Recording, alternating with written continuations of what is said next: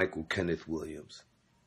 And it pains me to have to say yet again, rest in peace to another one of our young people falling prey to the senseless gun violence out here on our city streets. Mr. Phillip Toon Dupree. We got to do better, y'all. I mean, if we added up all the ways, the hows, and the whys that our young people are dying out here on these streets, including police brutality, and added them up, it wouldn't come close to the number that we're killing ourselves.